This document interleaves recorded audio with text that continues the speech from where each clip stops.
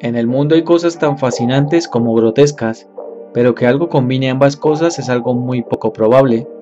Esas cosas que vemos y nos gustan sabiendo lo grotescas que son. Y una de esas cosas raras fueron las Garbage Pie Kills, unos cromos muy famosos distribuidos desde los años 80 y que son recordados con cariños por quienes llegamos a tenerlos. Si quieres saber su historia no cambies de canal y empecemos. Las muñecas Cabbage Patch Kids eran comercializadas por la empresa estadounidense Coleco y creadas por el artista empresario Xavier Roberts. Estas muñecas se hicieron muy populares entre los niños de la década de los 80 fue entonces cuando Lutz tuvo la idea de convertir estas muñecas en una parodia extraña y grotesca, en forma de cromos. Así fue como en 1985 nacen las Garbage Pie Kids, o también conocidas como basuritas en Latinoamérica, o la pandilla de la basura en otros países. Mientras que las Cabbage Patch Kids eran dulces y amorosas, los Garbage Patch Kids eran totalmente desagradables y aterradores para el público en general. En cada cromo aparece la caricatura de un personaje con alguna normalidad cómica o sufriendo un terrible destino, con un nombre humorístico construido mediante un juego de palabras, tales como Al Explosivo o César Noso. Contra todo pronóstico los cromos tuvieron un gran éxito.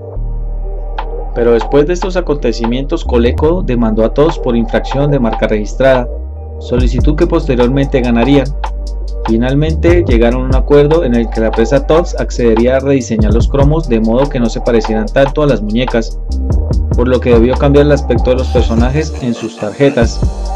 Algunas variaciones de cada tarjeta se produjeron con variaciones en cuanto a su nombre, pero las imágenes se mantuvieron intactas. Por lo menos 15 series regulares se publicaron en los Estados Unidos, aunque también fueron lanzadas en otros países. Además de la comercialización de los cromos se distribuyeron afiches, ropa y accesorios. El éxito de los cromos fue tan elevado que se extendió a otros continentes como Europa, Asia o América. En otros países se reeditaron las series en sus respectivos idiomas. Se comercializaron un total de 15 series, con 622 cromos, y algunos otros rediseños, lo que daría un total de 1200 cromos. El éxito de los cromos llegó a ser tan grande que incluso se creó una película en 1987 con el nombre de Garbage Patch Kills Movie.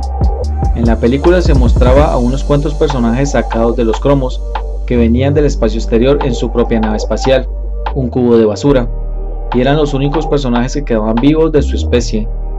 Y luego se hacen amigos del protagonista.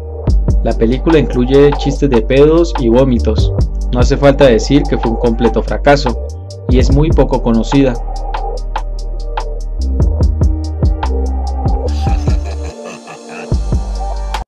También se realizó una serie animada que contó con tres episodios y terminó en la primera temporada, y un documental en el año 2016 conmemorando los 30 años de los cromos. Y como no podía ser de otra manera, no estuvieron ajenas a controversias en varios países que evitaron su distribución.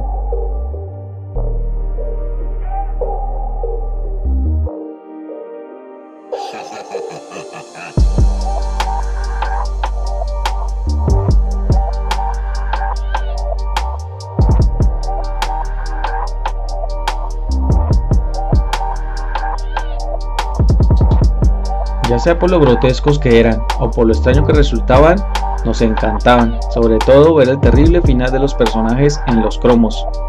Pero ahora es tu turno.